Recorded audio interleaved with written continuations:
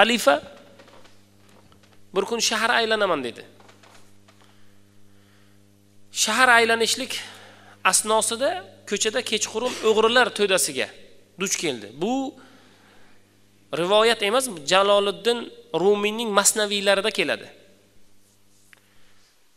To'rt besh o'g'riga duch kelib qoldida eski kiyimlar kiygan o'zi podshoh o'g'rilar to'dasiga kirgandan keyin aytdi o'g'rilar sen kimsan? dedi.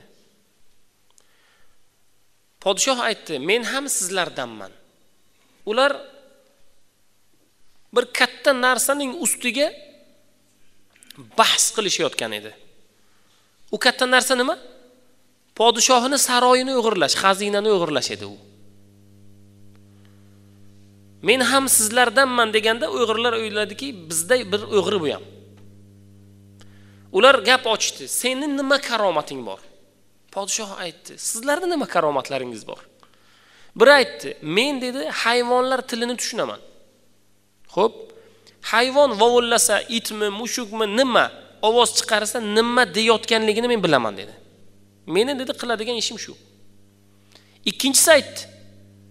Men dedi baland devorlarga shunday arqon tashlaymanki u arqon bir joyga ilinadi u devordan oshishlik imkoniyati bo'ladi. Uchinchisi aytdi men kechqurunda qop qorong'ida birovni ko'rsam birovni ko'rsam uni kunduzi bo'ladimi bir yildan keyin bo'ladimi o'n yildan keyin bo'ladimi kechqurun qop qorong'uda ko'rgan odamimni ham hatto taniyman dedi men. Men bitta odamni shunday ko'rsatinglar qorong'i bo'ladimi uni bir men yuzini yaxshi ko'ra olamanmi yo'q yo'qmi qizig'i yo'q men uni taniyman dedi. Qachon bo'lsa ham. To'rtinchisi aytdi men tuproqni olib tuproqni olib shuni tagida xazina bormi yoki yo'qmi shuni bilaman dedi. Beshinchisi aytdi men qanaqangi devor qalinlik bo'lmasin shuni men tesha olaman. Bo'ldi. Beshta o'g'ri beshalasi ham ishida mohir. Bunga qarata aytdilar seni nima karomating bor? Bu ham aytdi meni ham bir karomatim bor.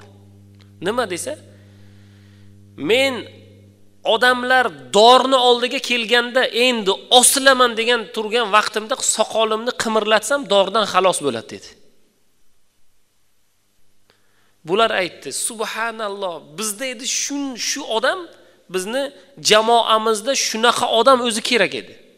Chunki bizni beshalamizni ham qiladigan ishimiz doriga olib boradigan ish qatlga majbur qiladigan ish. Hozirgi ishimiz ham saroy sultonni saroyini biz o'g'irlamoqchimiz. Mabodo qo'lga tushib qolsak sen kerak bo'lasan dedi. Bo'ldi seni jamoamizga qo'shamiz.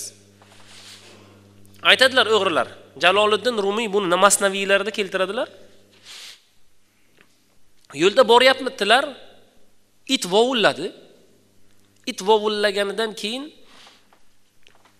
darrov bilqani nima deyapti bu? Vovullagandan keyin u e-, itni eshitdi va aytdi jamoasiga qarata aytdi.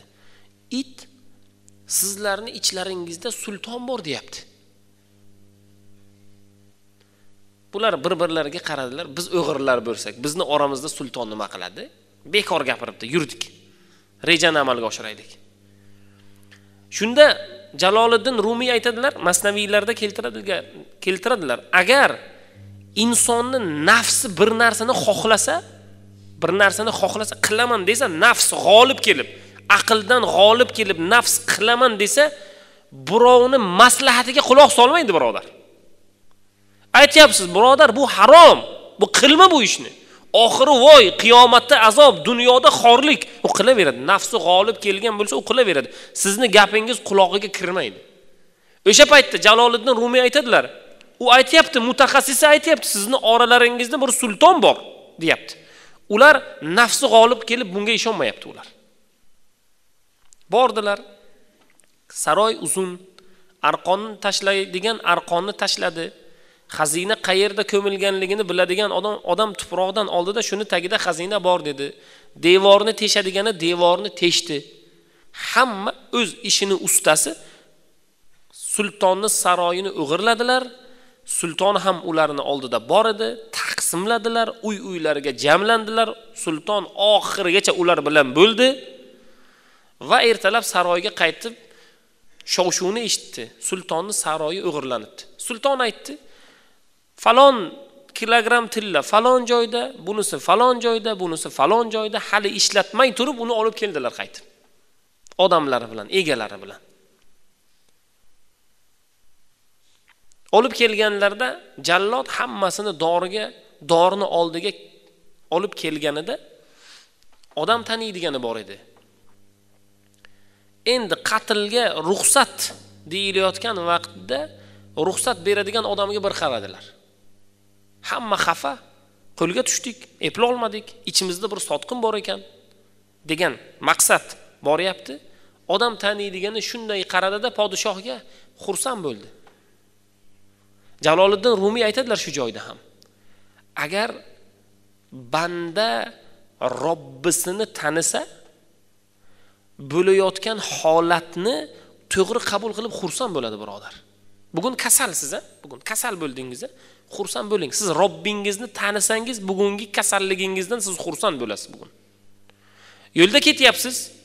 Moshinangizni bir joyi turtilib qoldi. Biz nima qilamiz? Bandamizku nafsimiz doim g'olib kelgan. Shunday asabiylashib turib nega bunday bo'ldi deymiz. Birodar ozgina kattaroq tezlikda bir joyga urilib bir joying sinib qolsa nima qilarding?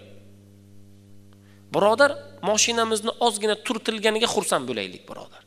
Robbisini tanigan odam bo'layotgan musibatlardan xursand bo'ladi xafa bo'lmaydi. Chunki alloh taolo mo'min bandaga bir musibat bir sinov bir imtihon bersa rasululloh aytadilar uni belini sindirish uchun emas. Uni gunohlariga kafforot bo'lishligi va dunyodagi va oxiratdagi martabasini ko'tarish uchun.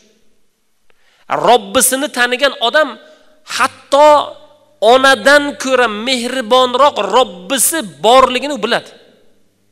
Onamiz bizga zarar ko'rsatadimi? Yo'q. Chunki insoniyat ichida mehribonrog'i ona. Alloh taolo nima deyapti? Sizni tuqqan onangizdan ko'ra Alloh rahimliroq robbisini tanigan odam Alloh haqida yomon gumon qiladimi? Yo'q. Dorini oldidagi odam ham ko'rdida tanidi o'zimizni jamoadagi o'g'ri podshoh ekan xursand bo'ldi. Oxirgi so'zim bor dedi men odamni taniydigan. Biz va'daga muvofiq hamma ishini qildi endi ish sizdan dedi. Podshoh ham va'daga vafo qilib soqolini qimirlatganda hammani doridan ozod qildi. Demak bu joyda nima deydi? Jaloliddin rumiy hazratlari. Nafs bandaga g'olib kelmasin. Inson har doim qadam qo'yayotganda robbisini tanisin. Shunda ahvol go'zal bo'ladi. Shunda ahvol yaxshi bo'ladi. Shunda inson insonni taniydi. Bugun insonlarni nega xafa qilyapmiz? Alloh taolo qur'oni karimning to'qson to'qqizta joyida to'qson o'rnida olloh bandalarni rizqiga men kafilman dedi. Bugun o'zi urushlar nimadan chiqyapti? Rizqni tanqisligidan ya'ni odamlarni xayolida ya'ni menga yetishmay qoladi menikini u olsa menga kam qoladi birodar. Shu yer ustida urush pul ustida urush narsa ustida urush yoki ba'zi bir dunyoda qolib ketadigan narsalar. Faqat bir o'rinda Alloh taolo shaytonning insonni faqirlik bilan qo'rqitishini ko'rdim.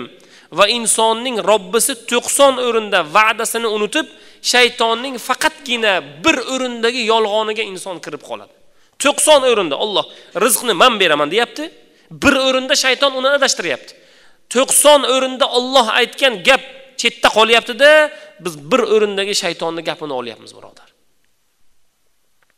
Bugungi kunda bizni aqlimiz, bugun o'qimayotganligimiz, farzandimizni o'qitmayotganligimizni sababi mana shunda. Allohni 90 marta aytayotganligi yodida yo'q, nafsi g'olib bir narsalar ustida urushyapti, birodar.